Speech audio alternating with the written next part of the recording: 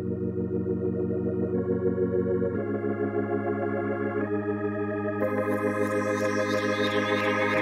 you.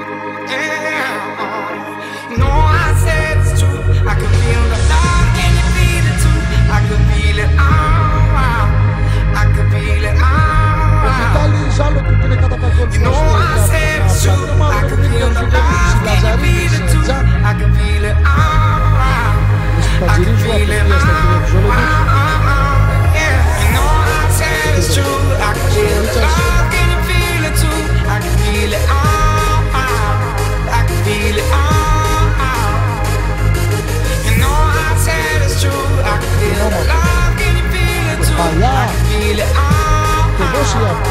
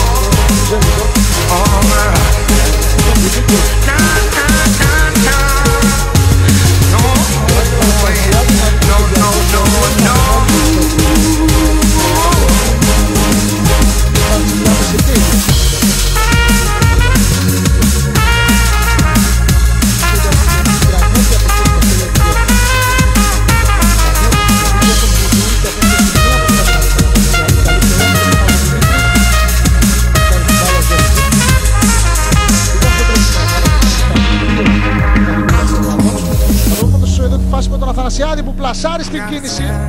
Η μπάλα θα φύγει πάνω από την αιστεία του Ζελετού. Μια κάτω τον σκόρερ της αναγέννησης πριν καν συμπληρωθεί το πρώτο λεπτό του δευτέρου μέρους.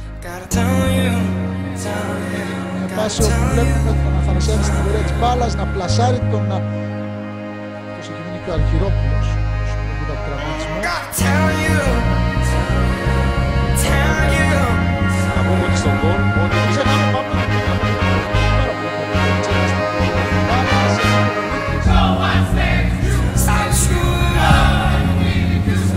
Obrigado.